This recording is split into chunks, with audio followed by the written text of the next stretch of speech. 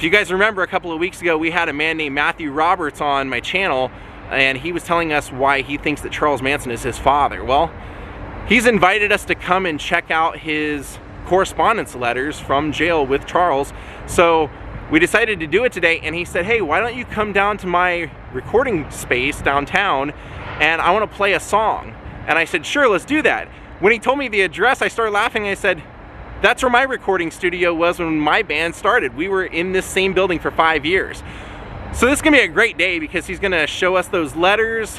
Um, he's gonna play a Manson song in his own style. And he's also gonna tell you about, um, he's decided to start a YouTube channel because so many people have requested I'm gonna help him get it started. But we also have a special guest in from out of town today. You guys probably recognize Breck. Hey everyone.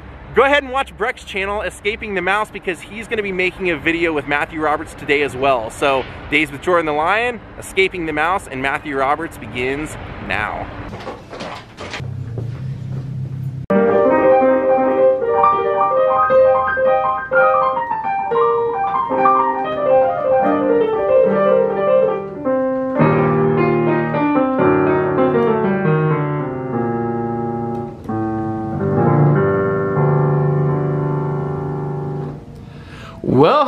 Matthew Roberts. Thank you for the fantastic introduction.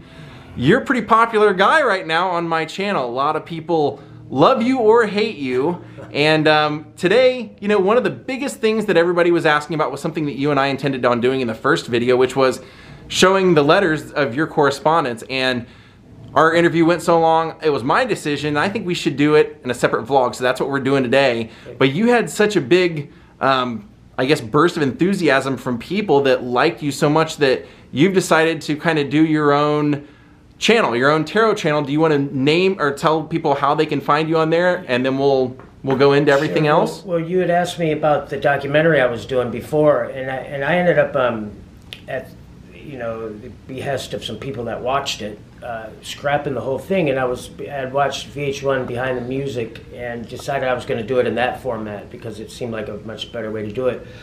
But now I'm like, oh God, I got to start all over. You know, editing. I taught myself to edit, and you know, I'm not. I'm okay, but I'm not great at it. So.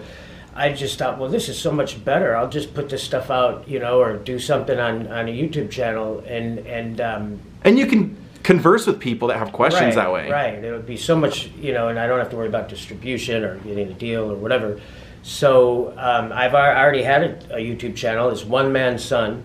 Um, but it's and, and, I'll put the link right below you. It's Matthew Roberts, One Man Son. Right. right. And and I've got you know my videos and music and, and different things. I've, I've got a couple of songs, a rock band video game. I did music and a movie soundtrack with Rob Schneider, American Crude, and bunch of concert footage and stuff. But what I'm going to start doing, um, because of the response that I got, was, and also because I think, I think that there's a few things I do with the tarot reading that is different, like like the fact that I don't do the negative interpretations and the, I don't uh, channel spirits or whatever. There's a lot of people like myself who are, are either superstitious or you know, have a Christian upbringing or don't believe in, you know, some of those things that would still like to maybe check out tarot cards. Or, if nothing else, it's entertainment. Yeah. So, well, that's, course, it's first and foremost entertainment. And I, I, like what you told me. You said it's not it's not the determination of your life. It's if you see something or say I say something maybe you don't like, right. you can consciously change it for yourself without. That's right. I mean, it, it's. Um, you know, I don't want anyone to believe anything I say or, or, or not, just to consider it. And and then if like like you just said, if you see, if something feels right to you or you, you you know something resonates with you, it's some it's a tool to help you confirm what you already know because everybody is intuitive. Everybody's you know in the back of their you know heart's heart can know if something feels right or doesn't feel right or if you want to call it the pineal gland or whatever third eye. Uh, you know everybody's got that. So I'm just trying to help people develop it like I feel like I've developed mine, and and um, you know take it for what it is, or you know, and like like you just said, you know, there's certain things that you can. There's probabilities of certain future realities or certain things happening, and and you know, the idea is to find something that doesn't jive with your your will or, or is not a desirable outcome and change it. If you can't change it, what's the point of knowing it? Right.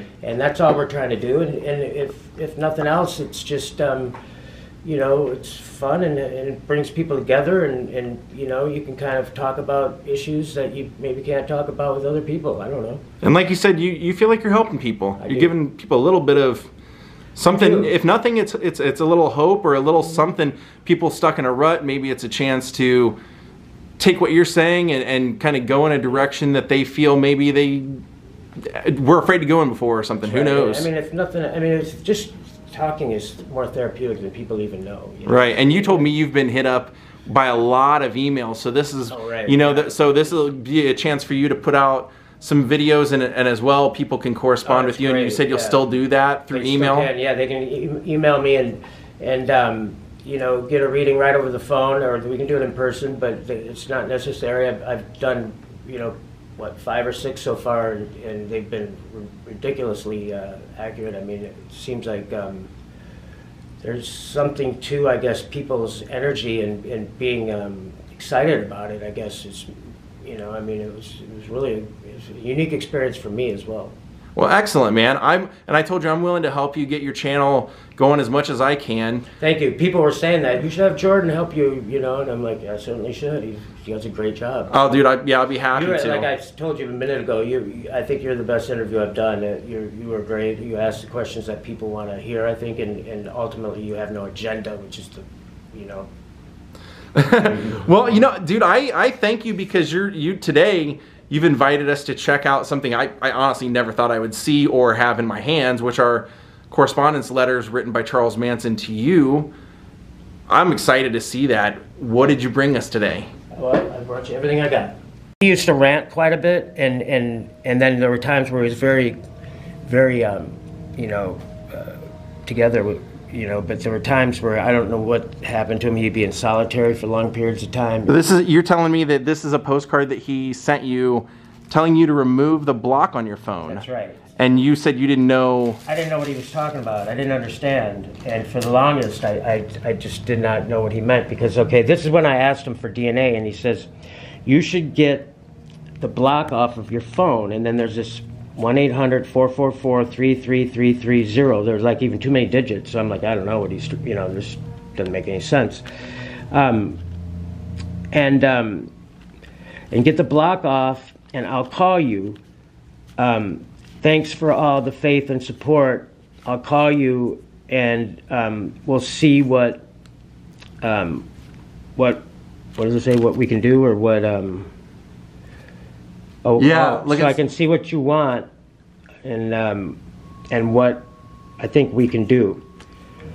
And uh, he was referring to the DNA because I was asking him, could I have DNA? And um, he didn't really even understand, and I didn't understand the phone thing. So we were both kind of, you know, in the dark on that. And uh, that's one thing I kind of regret to this day that I didn't kind of get more proactive. And then ultimately, he didn't want me visiting him in jail anyway um, because, um, you know, there were people that were intercepting my mail to him, and they were, he said, bad people that were threatening to do me harm. So this is Salvador Dali. Now the interesting thing about this also is that I lived when I that house I described to you with the 107 steps I lived in. Right. I lived with a gentleman named Cristiano Ramisa, who was a pretty famous Italian artist, who was a Salvador Dali protege. He showed me pictures with him and Salvador Dali. Uh, And that's what was on the front of the postcard. yeah, Wow. I guess maybe Charlie's a big fan, or maybe just something laying around. Or, you know, probably because he also got mad at me when I didn't send him paper and stamps. I didn't know that you know that's such a big commodity in jail. You know, and um, and and so this probably was like him going, okay, I'm giving you my best linen or whatever. You know. Oh yeah, yeah, it could be. There's a childhood photo of you. I know a lot of people would be interested in seeing what you look like as a kid. Brady Bunch hair, hairdo. All right, so this is the letter when I wrote to him first, and I asked him, did he remember my mother in Cook County, uh, which is where I was born, Cook County Hospital in Chicago, Illinois, and um, and this is this is what he responded with. Um, I won't read the whole thing, but but you know he says he says your mom's father ran me off saying you bad bandit outlaw bike trash which is exactly what my mother told me, you know. So that really kind of hit me because I'm like, okay, he at least had to have been there in order to know this. Stay out, um, stay out of her life. Um, now it's not all that not that it's all that bad. I um, Didn't care. I didn't care. It was um, free love, and you paid the price. I did. I thank my father for he left me uh, open for all men to be my father. Uh, lots of men learn from one. Um, uh, I learned from lots of men. Most men only learn from one. It has its goods and its bads. Yes, I've been in Cook County, and I didn't want to shatter your brain patterns. And then he writes up here Believe me and see into the Manson vortex. You would and will do best to check out this song I wrote for you. And here's the song um, Soul. It's up in the corner here. Soul. Um, wait a minute here.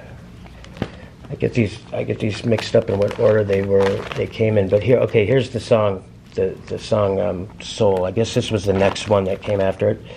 Um, so he says, "I burnt the school down at the age of nine, um, and never went back. I can't even spell none." So he writes "none" a bunch of different ways, and that's part of the lyric in the song. He says, "Believe me, soul."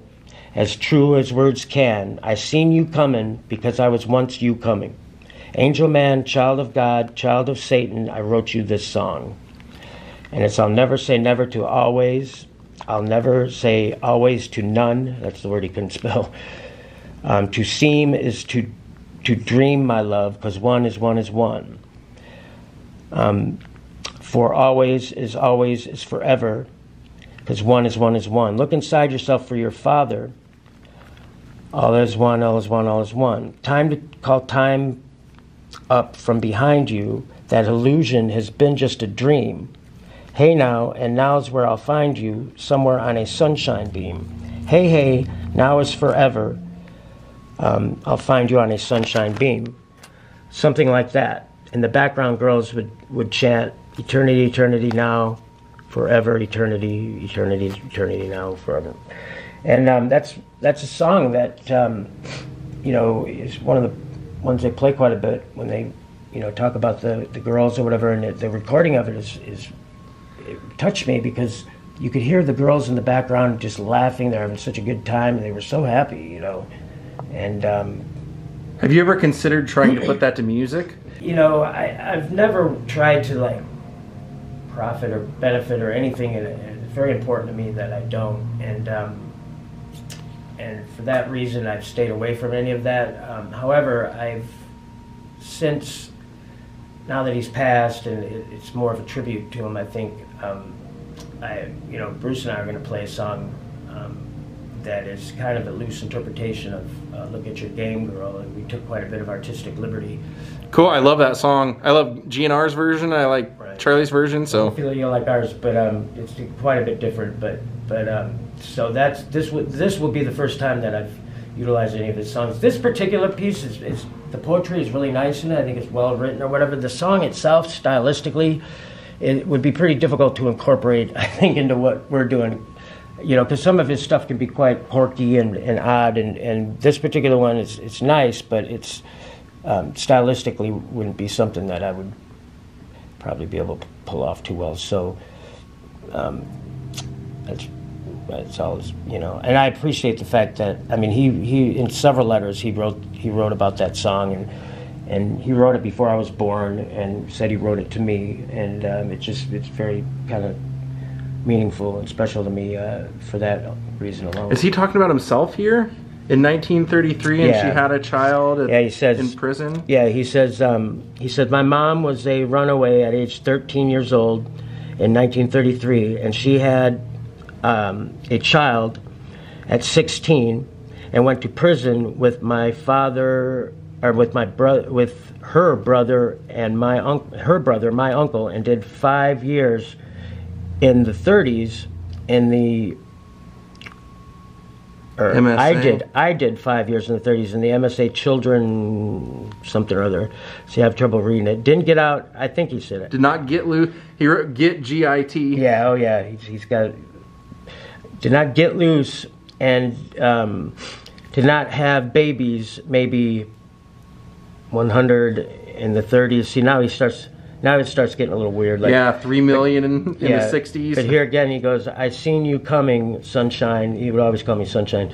He's like, "Peace, love is wonderful." Um, a lot of people think it's weakness. Learn how to fight, and don't use love as a fear-based, uh, uh, as fear, as a coward to be uh, fear-based something to be a coward you must stand strong within yourself. Um, and something, something, something. He, you know, he was giving me advice on not to be a punk.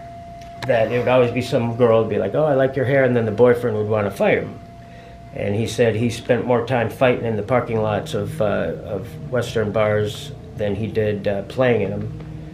Um, How many letters would you say that you had correspondence with him over the years? Um, I mean, you can see there's like, I don't know, 25, 30, and then he sends little things. Um, but I, I, I, wasn't very organized with them. I've lost a few, and um, I, they're not numbered or anything, so I, tr- I don't know what order they go in anymore. So it's kind of like just haphazard here. But can we just look through sure, some absolutely. of them randomly? Absolutely. There's one other point I wanted to make that Vicky uh, was talking about that she found interesting, and that's when he um, he refers to Hank Williams. That was his idol. And he talks about Guns N' Roses and, and doing his song or whatever. And, and he said, well, Hank Williams was my hero. And, um, and he believes he was killed for his money. And then he, he gave he sent a picture. This is the one that Rats got a hold of. Um, That's what's interesting. I remember you you, you yeah. said that he said that, and then Vicky said that June Carter, Cash had kind of told her the same thing that there was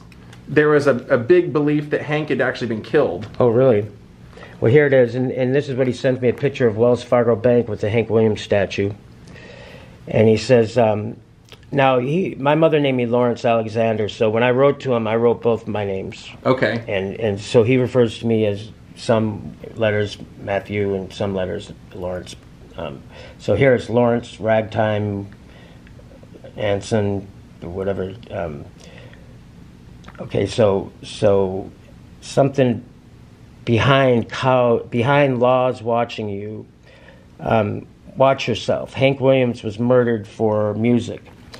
You don't realize if you get there, there's millions of big money comes into play. Go to the bank and they will give five thousand to try to try to draw out five million. They will pay fifty grand to put you in a nut ward and another fifty to make sure you never get out so you don't you don't realize people that have that get it are not going to give it up. He's talking about money, and um, if you think you can do it good, you can make it. Ha ha! I just did 33 years for being the best I could, um, the best, and covered up uh, my stuff destroyed. Can your bandstand stand? Don't think the police are going to uh, protect you. They protect money and payday. When when um, when I played country western, I spent more time in the back parking lot kicking ass than on the bandstand. The big one was, "Oh, I love your I love you and your music, but my husband don't like you." Or some drunk cat calling, yelling, Look at the, the little girl with the long hair. After I after I kicked all the ass, someone else pays the cops um, to haul me off and cut my hair off and go to jail. They take my songs and get up with them. Um, I at one time loved people and wanted to please them. Um, they something they're like robots banging their heads for pay. Don't play music for no one. Um, for no one ever who you think they are that's not who they are. Only that's only what you think, and that's what you were told Um, don't look for applause. I think it says, and it's it gets the handwriting gets crazy. Do you think he was telling you that because he knows you're a musician? Oh yeah, yeah. I sent him music and um, picture, and and that's exactly why he's saying it. And there's his signature right there. Matthew was saying he always puts the uh, the obvious sign that's on his forehead right there. So this is paper that he got from, you know, I guess this is like evidence that the, the, you know, this is like a shank or something. They got a little measuring stick here. This is paper, obviously, probably was thrown in the trash or something that he dug out. I didn't know paper was such a, you know, commodity, that there was such a shortage of it. Um, a lot I don't know about prison. I don't care to, to be honest with you. Um, so here he's like, um, you know, um, send some paper um, in an envelope. Must be hard times. You you save your stamps. They're money. Um, He's complaining you're not sending him. right, right. Paper and, and stamps. Um, something about where I lived when I was a kid, and and my mom and brother was in the prison. Oh, I guess he learned how to do it then in Huntsville State Penitentiary. Uh, maybe have a good day. Be careful of lies. A lot of people tell you, and they think it's a movie, TV show. Um, you, if if you were for real, oh here it is. If you were for real, boy, you would send um, your your old dad. Your, I think it's a dear old dad, but you send your old dad some money. Twenty grand would be nice, and he's got a big smiley face there. It's, you know, 20 grand would be nice. it sure would be. Matthew, that was really awesome. You have so many letters, we could look through them all day. We'll we'll get together and we'll do that again another time because you showed us the main ones that you you were referencing in the the last interview. So you wanted to play a song. Let's do that song. All right, sounds good. So this is Bruce. Bruce is in uh, Matthew's band, and Bruce has an interesting tie-in that we will talk about another time. It's a tie-in to this whole Manson story and everything, and it involves you being shot. So we'll talk about that another time. A little teaser. But what did you guys want to do today? Well, we're, we're just going to do a uh, song here that's a very loose interpretation of Look at Your Game Girl, and um, we take quite a bit of artistic liberty, I would say, and um, we're just going to wing it here. We, you know, we, um, we just kind of, um, you know, been jamming it a little bit here and there, and um, we don't, we've never played it live, played it publicly or anything, so this is a, a, an original first. Or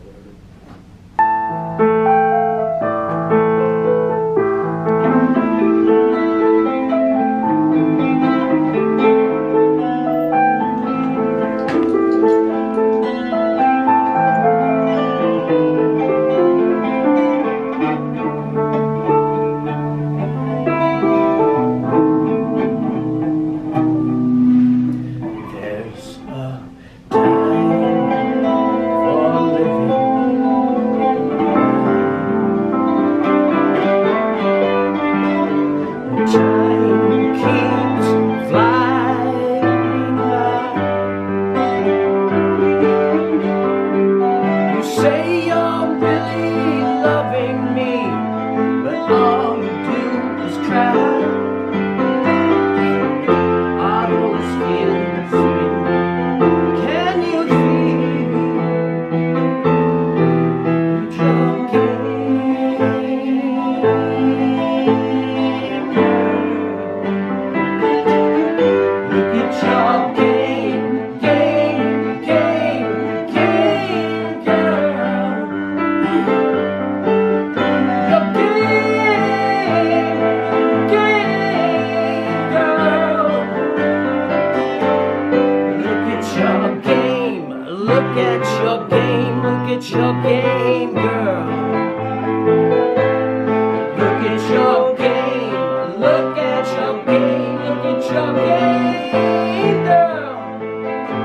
Look at